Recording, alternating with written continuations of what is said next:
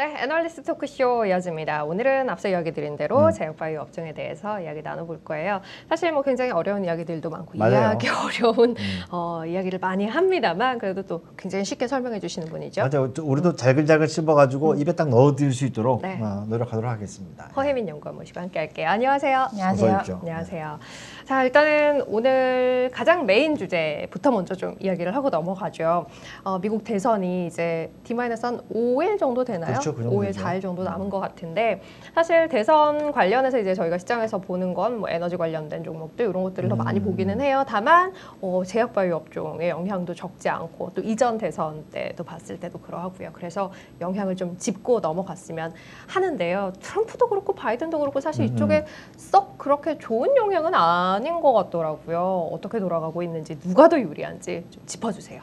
아무래도 대세가 이제 약가가 너무 비싸다 보니까 음. 이두 후보군 다 제약바이오의 약가 이- 어, 정책에 대해서 이렇게 어, 한 번씩 이제 정책을 내고 있는 네. 음, 상황이긴 음, 한데요.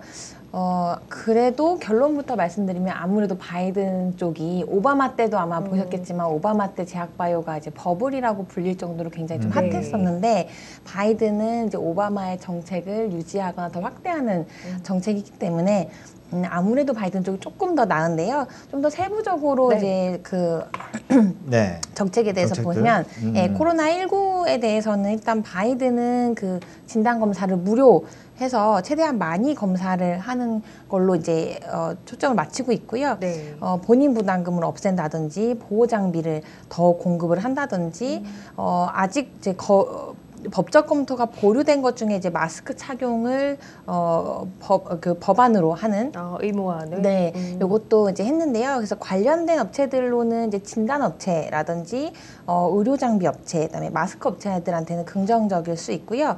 트럼프 같은 경우는 어, 그래도 당근을 좀 주는 편입니다. 빠르게 어, 출시할 수 있는 어, 초고속 작전이라고 하는 걸 이제 네네. 설립을 해서 굉장히 빠른 시일 내에 약을 출시할 수 있도록 어, 음. 하는 게 있고요. 코로나 그러- 관련해서요. 네, 그렇게 되면 백신이나 치료제 우리나라 업체들 같은 경우는 CM 업체들이 관련 음. 기업들이 많기 때문에 네. 그런 업체들한테 좀 긍정적일 수 있고요.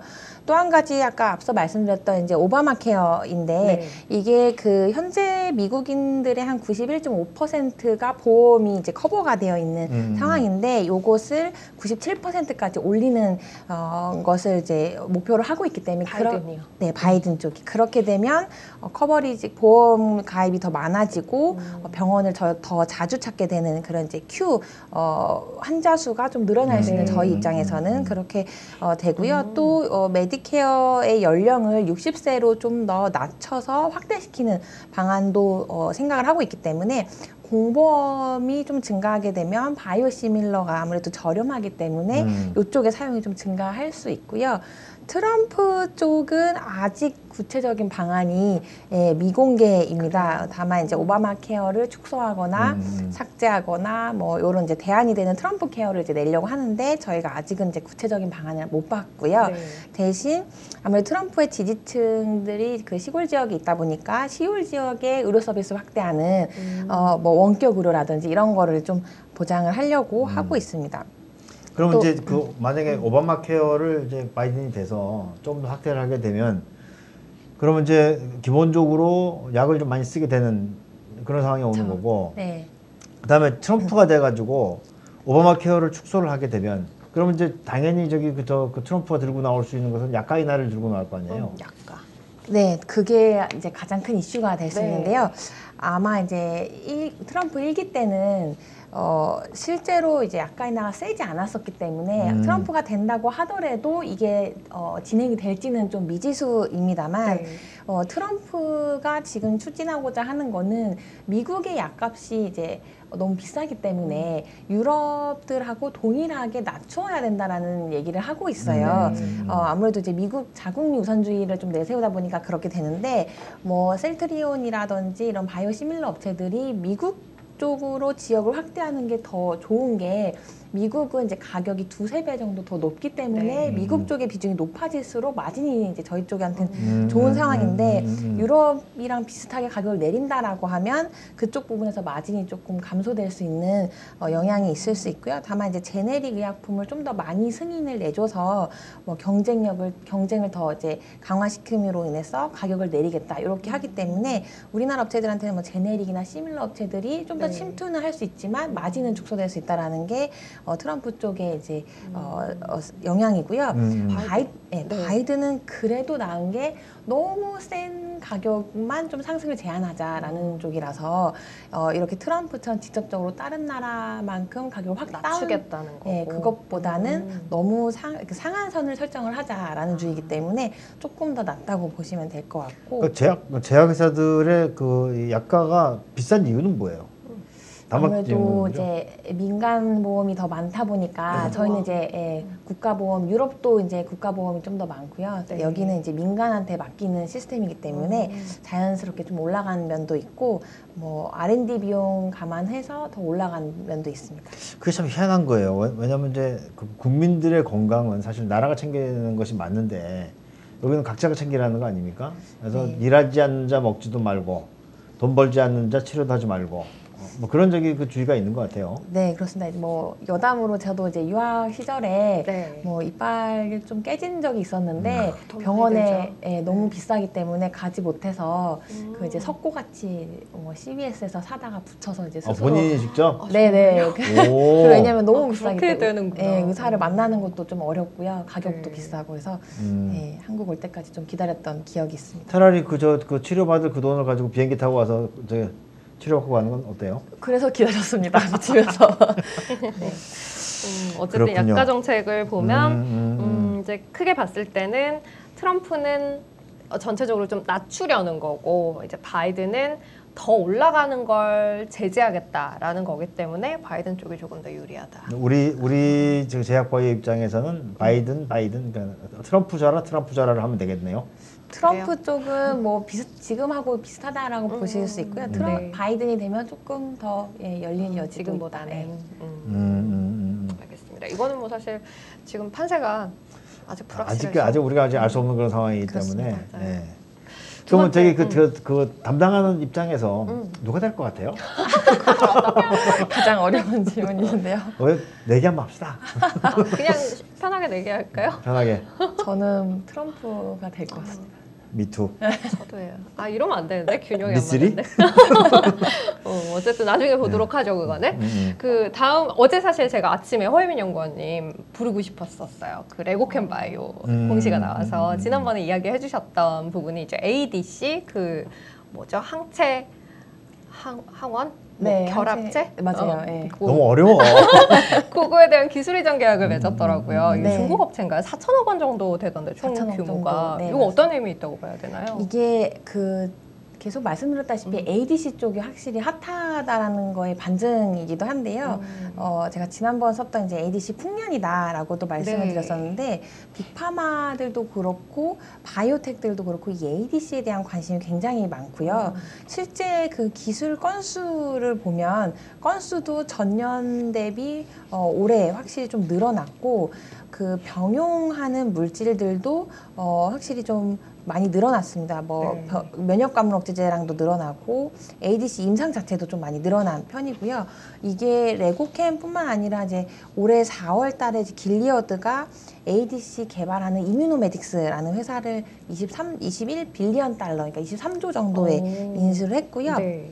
이뮤노메딕스 같은 경우는 그 ADC 치료제 중에 트로델비라고 하는 삼중음성 유방암을 개발하는 업체고 어, 국내 연관 업체로는 삼성 바이오로직스가 이 트로델비의 음. CMO를 하고 있기도 합니다. 그래서 네. 어, 이런 이제 M&A 인수들 그 다음에 9월 같은 경우는 시애틀 제네틱스가 또 머크하고 ADC 치료제를 어, 4.2빌리언 달러 그러니까 거의 한 어, 5조 안 되게 네. 해서 파트너십을 맺기도 했고요. 음. 그 머크의 키트루다하고 병용하려고 하는 어, 공동 연구 계약을 최근에 맺기도 했습니다. 음. 또 레고켐 같이 biotech들도 이 ADC에 대한 관심이 좀 많은데요.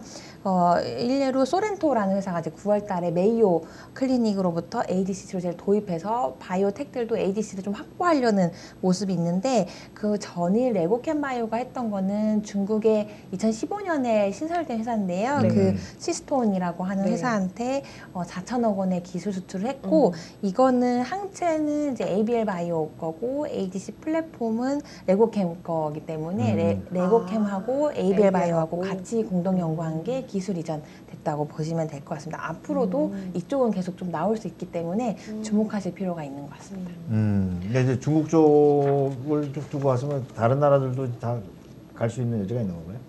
어, 다른 파이프라인들 지금 이제 물질 이전 계약 맺은 게 있기 때문에 이 ROR1 외에도 다른 파이프라인도 계속해서 좀 기술 이전이 될 수 있습니다. 음, 음, 음, 음. 그 ADC가 최근에 많이 부각이 되는 이유에 대해서 다시 한번 좀 정리를 해주셨으면 좋겠어요. 이거 음, 일단 개념 어, 자체도 그- 한번 그러니까요. 된다고 들어오는 건. 아니기 때문에 이거는 이제 전략적이라는 생각이 좀 드는데요. 왜냐하면 저희가 이제 메가 트렌드 쪽에 면역 관문 억제제가 굉장히 핫했었거든요. 음. 근데 지금 이 ADC를 좀 도입하는 업체들을 살펴보면 이 면역 관문 억제제를 꽤 즐기지 못하는 업체들이 많습니다. 예를 들면 아까 말씀드렸던 길리어드가 이제 M&A 한 사례라든지 길리어드는 이제 면역 관문 억제제가 없었고요. 항암제 음. 시작한 지 3년밖에 되지 않았기 네. 때문에 면역 관문 억제제를 즐기지 못해서 그 다음에 있을 수 있는 소사이클인 이 ADC 쪽에 좀 집중하고 있어서 이쪽에 대한 파이프라인 기술 도입이라든지 M&A라든지 이런 이제 딜 건수들이 올라가고 있는 것 같습니다. 이게 어떻게 되는 겁니까? 이제 우리가 이제 암에 음. 예를 들어서 그 걸렸어요. 그러면 이제 그 항암 치료를 하잖아요. 음. 그때 저기 그 ADC라고 하는 건 어떤 역할을 하는 거예요? 어, 이 ADC가 그 암 표면의 리셉터에 좀 잘 붙는 이제 항체가 하나 있고요. 음. 거기에 이제 링커처럼 끈을 연결해서 톡신을 또 붙입니다. 그래서 암 표면에 잘 붙는다라는 항체의 장점을 이용하고 아. 세포 독성 항암제는 이제 암을 잘 죽이는 살상력 살상력이 높다라는 장점이 있어서 요 그거의 두 개를 합쳐 놓은 건데요. 음. 최근에 이 링커가 좀 이제 개발이 잘 돼서 네. 좀 단단해져서 안전하게 아. 암세포 안으로 들어가서 이제 암을 좀 살상을 많이 하는 역할들이 음. 나오고 있고 데이터들도 실제 좀 잘 나오면서 음. 관심도 더 갖게 되는 것 같습니다. 그러니까 암, 암세포를 잘 저기 그저 그 파괴할 수 있는 저기 그- 그 중간 다리 네, 잘 음. 찾아가서 잘 죽인다라고 생각하시면 돼요. 항체 약을 붙여서 들어가는 그렇죠. 거네요. 네. 음. 근데 그 암, 암이라고 하는 게 뭐 예를 들면 위암도 있고 간암도 있고 뭐 대장암도 있는데 그 암, 암이라고 하는 거는 범용으로 다 저기 그 사용하는 거예요? 아니면 그 각각 맞- 맞는 걸 또 그 만들어야 되는 거예요? 그 범, 말씀하신 범용이 대부분 이제 면역 관문 억제제에서 많이 사용이 되고요. 그리고 이 ADC 같은 경우는 그 receptor에 붙는 타겟이 그러니까 항체가 있어야 됩니다. 다르겠네요, 그럼. 예, 적응증이 음. 조금 다를 수 있어요. 음, 복잡해. 너무. 음, 조금 더 요거는 세분화된 개념이라고 음, 봐야 음, 되겠네요. 네네. 음. 알겠습니다. 뭐 나중에 또 이해하면 네. 이해한 범위 내에서 질문을 좀 드리도록 어, 이렇게 하- 하겠고요. 그다음에 이제 아무리 이렇게 신약 개발하고 뭐 하고 하더라도 가장 중요한 건 지금 이제 3분기 실적 시즌이니까 실적을 봐야 될 것 같은데 지금 담당하고 있는 저기 그 섹터 내, 내 종목들이 다 나왔나요? 아직 실적이? 안 나온 것 네, 같아요. 다안 나왔고요. 세 개 정도 지금 커버리지 중에 나왔습니다. 제약 제약바이오가 식음료하고 비슷하게 늦, 늦게 나오는군요. 음. 네, 저희 조금 이제 이번 아마 다음 주 정도에는 네. 나올 것 같은데요. 음, 음, 음. 어, 항상 가장 빨리 나오는 게 삼성바이오가 네. 빨리 나오고 이제 동아하고 유한이 나왔고요.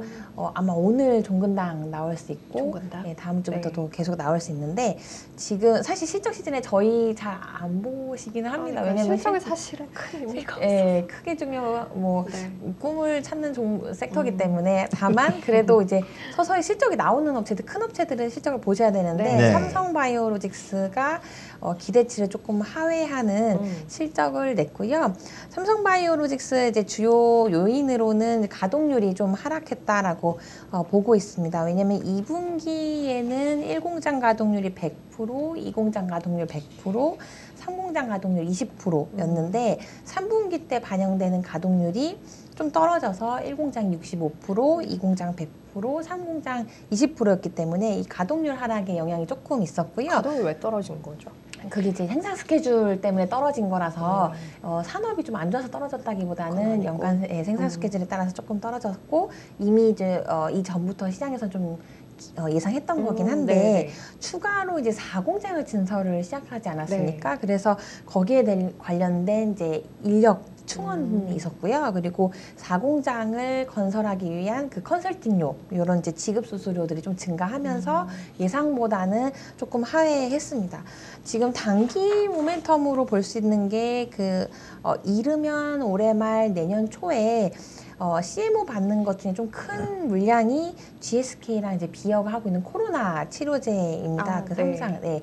그 공시 예전에 이제 4,400억 정도 한 번에 수주를 받았던 그 품목인데요. 그게 이제 데이터 발표가 올해 말 내년 초에 있고요. 또 4분기 실적을 보시면 그래도 3분기보다는 조금 낮습니다. 왜냐하면 가동률이 3분기보다 좀 올라가서 1공장 70%, 2공장 100%, 또 3공장 25%이기 때문에 어, 3분기보다는 4분기가 좀 낮다. 대신 음. 사- 지난해 4분기 때 그 역기조 효과가 있는데요. 작년 4분기는 이제 너무 높은 제품의 가격대 한 번에 쏠리면서 어, 역기조 효과는 있지만 음. Q 그 전분기 대비는 좀 낮다고 보시면 됩니다. 또 이제 동아ST 같은 경우는 실적이 좀 기대치를 하회했습니다. 제 추정치보다도 좀 낮게 음. 나오긴 했는데요. 이게 이제 그 종합병원 비중이 좀 많다 보니까 네. 최근에 그 의사 파업 도 있었고 음. 그래서 그 영향이랑 코로나 영향도 있었다라고. 코로나 때문에 병원을 안 가요. 그렇죠. 네, 맞습니다. 그래서 그 영향도 좀 있었고요. 음. 또 이제 이 회사는 R&D에 조금 더 모멘텀이 있기 때문에 음. 최근 그 경구용 당뇨 치료제 1, 2, 4일 당뇨요? 네, 당뇨 치료제 이제 경구기 네. 때문에 그렇죠. 좀 기대를 하고 있고요. 음. 일 1비상 완료됐기 때문에 요 데이터를 갖고 이제 license out을 본격적으로 할 수 있는 상황이 됐다라고. 그건 어- 그거 어떻게 되는 거예요? 원래 이제 당뇨 같은 경우에는 당을 조- 조절하기 위해서 인슐린을 이제 injection을 통해서 주사를. 하잖아요. 네네. 근데 그 이 입으로 먹으면 그 정도로 효과가 나와요? 이거 이제 데이터가 나와봐야 알 수 있는데요. 아, 지금은 이제 1b상이기 음. 때문에 효과를 비교하기는 조금 음, 이르. 너무 초기라서. 음. 네네. 음. 대신에 안정성이나 어, 일부 또 효능 데이터를 일부 확인할 수 있으실 것또 같아요. 사람들이 대부분 이제 니들 포비아가 있어서 네, 아, 경고로 주사를 안 나오면 맞으면 좋죠. 좋죠. 어, 음. 좋죠. 근데 문제는 이제 주사로 집어넣는 거에 비해서 입으로 먹는 거는 뭐 저기 그 흡수율이 워낙 떨어지니까. 네, 위에서 좀 분해가 많이 되기 때문에 음. 나오면은 네. 기술 이전이 가능할 수 음. 있다라고 음. 생각을 하고 있고요. 기대해 보도록 하겠고요. 네. 잠, 잠재적인 아, 당뇨 저기 환자로서 왜또 잠재적인 아, 이 정도 찌었으면 뭐. 당뇨 와도 이상하지 않은 거 아니에요? 됩니다. 등산하시잖아요. 네. 그리고 주요 괜찮아요. 앵커를 제외하고는 뭐다 비슷한 것 같은데 당뇨 좀 그러세요, 밖에도 지금? 많아요 우리 밖에 아니라는데요. 그 유한 양행도 어제 나왔는데요. 네. 기대치를 굉장히 상회했습니다. 컨센서스 129억 영업이 음. 어, 보고 있었는데 204억 나왔는데 실제로 훨씬 더 잘 나올 수 있었었는데요. 음. 어, R&D가 조금 많이 사용이 되면서 어, 200억 그래도 기대치보다는 훨씬 상회했는데 네. 역시 한번 turnaround가 된 회사는 계속 잘 나오는 것 음, 같습니다. 음, 왜냐하면 음, 음. 지난 2분기에도 6개 분기 만에 시장 기대치를 상회했는데 네네. 지금 연속해서 또 아, surprise 예. 내고 있는 음. 상황인데 고마진의 개량 신약이 일단 좀 성장을 하고 있고 항상 이제 말썽을 부리던 유한 화학이 적자폭이 드디어 이제 어. 감소가 돼서 마이너스 음. 2억 적자로 많이 줄었습니다. 그 유한화학은 뭐 하는 회사인데요? 이 회사가 그 API 그 원료를 수출하는 회사인데요. 음. 아마 이제 기억 나실지 모르겠지만 C형 간염 치료제 뭐 하본이라든지 이런 네. 게 그98% 굉장히 그 어, 간염을 다 완치시켜 버리는 약이었기 어. 때문에 아. 앞단에서 간염 치료제들이 줄어들면서 원료도 같이 좀 줄어들어서 예, 적자가 계속 발생을 했는데 아. 네네. 이제 그게 거의 다 빠졌고요. 이번에 이번에 그, 그 공단 검진을 받아보니까 C형 간염을 저기 그, 그, 꼭 저기 하라고 그러니까 뭐 어. 선택 사항이긴 한데 C형 네. 간염 저기 그저 그, 그 진단을 받아보라고 나오더라고. 그래서 이제 기왕에 피 뽑는 거 같이 한번 해봅시다. 아, 어. 약이 있습니다. 예, 있어요? 거- 예, 있습니다. 네, 완치시켜 버리는 완치시킬 수 있는 약이 있기 저 때문에. B형은 저기 그 안티바디가 있기 때문에 네. 예. 자랑하시는 거예요 지금. 어떻게 자랑하시는 거예요? 네, 그래서 원가율이 위안량이 좀 줄어서 네. 어, 그런 부분들이 이제 이익 개선으로 돌아왔고 음. 의미가 좀 있을 수 있는 거는 이제 저는 4분기 때 어, 넣어버렸지만 그 마일스톤 중에 좀 큰 게 들어올 수 아, 있는 네. 이 레이저 티닙의 아. 삼상 들어가면서 2차 마일스톤 이제 750억 원 네. 정도 반영이 될 수 있는데요. 이게 어, 투여 시작할 때 이제 받기 때문에 올해 말 아니면 내년 초에 음. 받을 수 있고 저는 이제 4분기 때 반영을 시켰습니다. 근데 이거 네. 외에도 어, 내년 초에 그 내시 치료제 그 기- 어, 베링거한테 기술 이전한 건데요. 네. 그거가 임상에 진입하면 천만 불 또 들어오고 내년 상반기에는 길리어드한테 어, 기술 이전했던 내시 그 후보 물질이 또 기술료가 유입될 수 있는데 그거는 추정치에 넣지 않았기 때문에 추가로 아, 실적 올라갈 수 상향 있는. 네, 될수 있다. 음. 근데 이 회사가 드디어 많은 씨를 뿌렸는데 이제 걷어들이고 네. 있는 모습이 좀 긍정적으로 그러네요. 보이는 예, 어. 회사입니다. 네. 그 한 가지만 궁금한 거는 지금 이제 뭐 이렇게 신약 후보 물질들을 기술 이전한 기업의 경우에는 임상 진행 과정에 따라서 음. 이제 마일스톤이 들어오게 되잖아요. 삼성바이오로직스 아까 이제 그 GSK와 코로나 치료제 관련한 그 계약에 대해서 이야기를 하셨는데 그거는 지금 이제 진행이 되고 있는 상황이어서 위탁 생산하는 업체 같은 경우는 그러면 그 이제 들어오는 돈이 어떻게 진행이 되는 건지 이거 음. 만약에 치료제가 완성이 안 되면 그러면 계약은 없던 일이 되는 건가요? 아 좋은 질문 주셨는데요. 네. 원래 원래 좋은 질문만 해요. 감동이었습니다. 아 그게 이제 binding 되어 있다라는 말이 네. 실패하든 성공하든 음. 그 금액을 줘야 됩니다. 그래서 아. 이게 그 capa 그 공장에 있는 거를 그 GSK랑 Vir가 아예 예약을 해버린 아, 거. 비워놔야 되는 거니까. 네네. 그래서 음. 이게 실패하더라도 돈을 줘야 되는데 어, 데이터 만약 잘 나오고 이 약이 좀 성공해서 많이 팔린다라고 하면 그 계약했던 금액보다 좀 더 늘어날 가능성이 있기 때문에 음. 그 부분은 긍정적으로 아. 볼수 있을 것 같아요. 그러니까 그, 그 공정을 사용하는데 수율이 어떻든 간에 정해진 물량에 대한 그 폐리해야 한다. 네, 확정 음. 금액을 줘야 되기 음. 때문에요. 음. 그거는 이제 이미 들어 물론 물론 저기 그, 그 전에 저기 그 실사를 통해 가지고 어느 정도 수율이 나오니 다 저기 그, 저 조사를 했겠죠.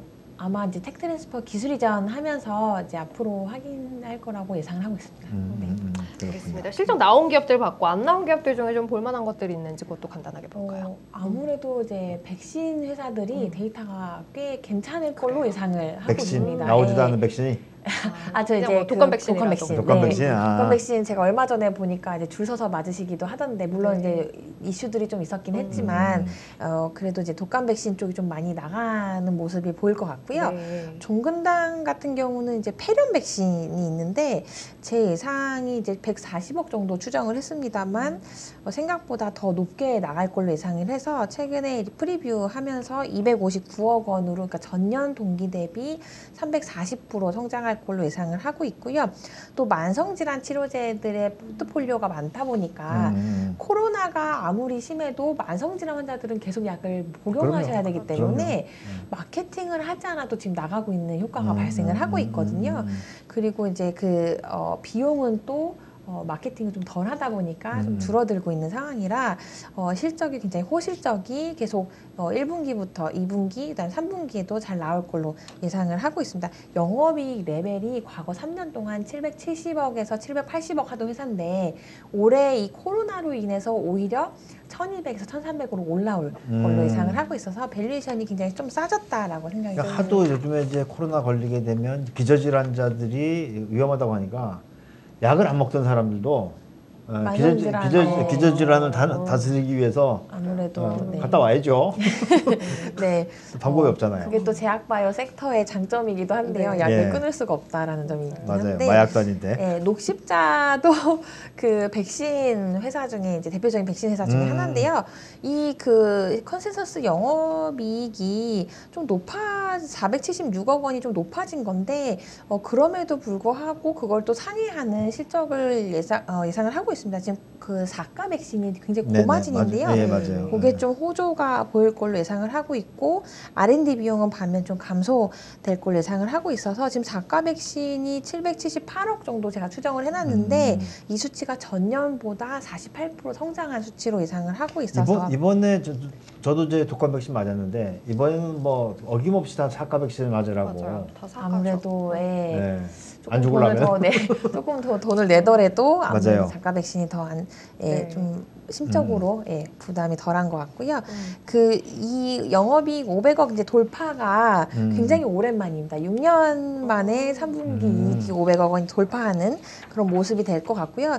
작년 한 해 실적을 보시면 작년 영업이익이 이제 403억 원이 작년 한 해 영업이익이었는데 네. 올해 3분기에는 이거를 한 분기, 3분기에 돌파하는 그런 모습이 보일 것 같습니다. 또 4분기가 항상 적자인 회사인데 이번 4분기에는 어 이제 흑자로 나올 걸로 예상을 하고 있어서 음, 음, 백신 음. 회사들이 이제 종분당이나 녹십자 대체적으로 네, 호조. 예상하고 있고요. 네. 지금 한미는 적자로 예상을 하지만 한미가 또 탑픽입니다. 왜냐하면 이 이제 악재가 다 나온 것 같고요. 이 3분기 적자가 사노피하고의 계약 음. 종료가 되면서 음. 한 번에 이제 일시적으로 반영되는 R&D 비용이 추가적으로 500억 정도가 있어서 그것 때문에 좀 적자로 예상을 하고 아니 있고요. 뭐 한약품 같은 건 다 깨져서 더 이상 나올 게 없는 거 아니에요? 그때를 다더 예, 반영했다는 많은. 악재가 올해 쏟아졌기 때문에 내년에 좀 나을 수 있는데요. 내년에 이제 이 회사가 어, biotech의 붐을 일으킨 최초 회사기도 한데 음. 내년에는 최초로 기술 이전한 거에 대한 milestone이 나오는 아. 회사입니다. 저희가 음. 기술 이전만 했지 그거에 대한 milestone은 이제 처음 보게 될 건데요. 오락솔과 롤론티스가 내년에 이제 미국 출시가 되면 거기에 대한 이제 running 로열티가 10에서 15% 그러니까 앉아서 돈 벌 수 있는 이제 첫 해가 되게 음. 됩니다. 음, 음. 물론 첫 해라서 금액은 좀 크지 않을 걸로 예상을 하고 있는데요. 지금 그 오락솔을 커버하는 아테넥스를 커버하는 해외 이제 컨센서스 보면 21년에 한 510억 원 정도 예상을 하고 있고 2025년에는 이제 861 million 달러 그러니까 이제 거의 1조 가까이 되는 매출 예상하고 있고요. 이제 한미가 10에서 15% 받기 때문에 2025년이 되면 이제 앉아서 천억 정도 어, 벌수 있는데 이게 또 한미 음. 사이언스랑 이익 배분이 되니까요. 네. 한미가 한 70%, 한미 사이언스가 30%될 걸로 예상을 하고 있습니다. 네. 뭐 시간이 더 있다면 제가 이제 중요한 셀트리온을 어, 말씀을 안 드려서요. 봐야죠. 네. 네. 셀트리온 어, 부합할 걸로 예상을 하고 있습니다. 뭐 미스하더라도 아주 소폭 미스할 걸로 이제 예상을 하고 있는데 음. 그 램시마 IV 정맥이 굉장히 오래 전에 출시한 거기 때문에 네. 가격이 좀 많이 뜨- 떨어졌잖아요. 음. 그래서 어, 이제 셀트리온 헬스케어로 나가는 가격이 그 높지가 않습니다. 어, 2분기 때 램시마 아이브이 이제 비중이 공급 계약 대비 26% 정도 됐는데 3분기 때는 이제 29% 거의 30% 가까이 되면서 이 음. 비중이 높아지니까 어, 마진이 조금 이제 전보, 전분기보다는 조금 내려올 수 있고요. 또 코로나 치료제 개발비가 음. 물론 이제 삼상부터는 이제 무형자산 할 수 있다고 하지만 일상 거는 또 비용 뭐 정부에서 지원받은 거 감안해도 조금 들어가기 때문에 그런 이제 개발비 증가 좀 있을 수 있고요. 음. 어, 모멘텀적인 측면에서는 이제 올해 말 정도 되면 그 코로나 치료제 2, 3상이 어, 파트 1이라고 해서 이제 중간 결과를 저희가 네. 아마 확인할 수 있는데 음, 음, 아마 음. 긍정적일 걸로 예상을 하고 있습니다. 왜냐하면 이 대규모 상업 생산 이제 초기 물량을 벌써 이제 준비를 하고 있기 때문에 그 네. 얘긴즉슨 뭔가 데이터가 괜찮지 음, 않았을까라고 있다. 예측을 음. 해볼 수 있고요. 그 셀트리온 헬스케어 이제 말씀드리 드리면서 더불어 이제 헬스케어도 이제 네, 네. 예, 부합할 걸로 예상을 하고 있는데 어, 램시마 다만 이제 기대했던 것보다 조금 이제 덜 나가는 것 중에 하나가 램시마 SC입니다. SC가 음, 3분기 때 그 풀 라벨 이게 적응증이 이제 확대돼서 네. 어, 굉장히 잘 나갈 걸로 예상을 했는데 생각해 보니까 이제 9월 중순부터 나가기 시작했기 때문에 아, 반영이. 3분기에 반영이 조금밖에 안 될 수 있고요. 4분기에는 그 이제 유럽 쪽에 코로나가 많이 확산이 돼서 네. 아마 약가 등재나 이런 협상 측면에서 좀 지연될 수 있다라는 점을 감안해서 어, 좀 보수적으로 내년에 램시마 SC가 좀 많이 확대될 수 있다라고 생각을 하고 있고 또 한 가지 그 셀트리온 헬스케어에서 항상 반영이 안 되는 것 중에 하나가 코로나 치료제입니다. 왜냐하면 네. 코로나 치료제가 개발비를 셀트리온 헬스케어도 같이 부담을 하고 있기 때문에 음. 이익 배분이 또 이제 어, 이익 배분을 한다 이런 점에서 셀트리온 헬스케어도 코로나 치료제에 대한 수혜를 받을 수 있다라는 생각이 들고요. 여태까지 시밀러나 벨터만 하던 회사인데 드디어 이제 신약도 만약에 출시한다라고 하면 그런 음. 점에서 의미가 있을 것 같습니다. 그 셀트리온 3사가 하나로 묶이는 거는 일정이 나왔어요? 아마 내년 하반기 확인하실 음. 수 있을 것 같아요. 시간이 이제 아직은 많이 남았네요. 네. 완성이 되려면 음, 음, 음. 음. 아까 이제 이야기하다가 어, 한미가 top pick 이라고 이야기하셨어요. 지금 제일 좋게 보고 계시는 건 한미약품인 네, 건가요? coverage 내서 기술 수출. 네, 내년에 거? milestone 들어오는 게좀 음. 있고 어, 주가가 많이 오르지 않았고 악재 반영됐다라고 보고 있고요. 네. 지금 이제 big3 그러니까 삼바, 셀트, 셀을 다 많이 좀 어, 조정을 받았기 때문에 네. 음. 부담 없는 가격이라고 생각하고 가격은. 있습니다. 음. 알겠습니다. 그렇군요. 자 오늘 그리고 그리고 음. 백신이 먼저 나옵니까? 치료제가 먼저 나옵니까? 어, 아, 이게 비슷할 것 같긴 한데요. 네. 내년 아마 상반기 되면 백신 치료제 다 데이터들 이제 후기 데이터들 나오기 때문에 네. 뭐 누가 먼저 나올지 모르겠지만 그러니까 연말 크리스마스 선물은 일단 아닌 걸로 봐야 되겠네요. 어, 보도는 이제 그렇게 화이자 쪽에서 네. 얘기는 하시긴 했는데요. 음. 그건 항상 밀리고 있기 때문에 음. 돼봐야 알 수 있다라고 보고 있습니다. 제발 좀 나왔으면 좋겠어요. 네. 네. 내년에는 나올 겁니다. 오늘 여기서 마무리할게요. 허혜민 연구원 모시고 함께했습니다. 고맙습니다. 고맙습니다. 네. 예. 요즘 사람들이 키움증권에서 펀드 사는 이유 누구나 선취 판매 수수료 0원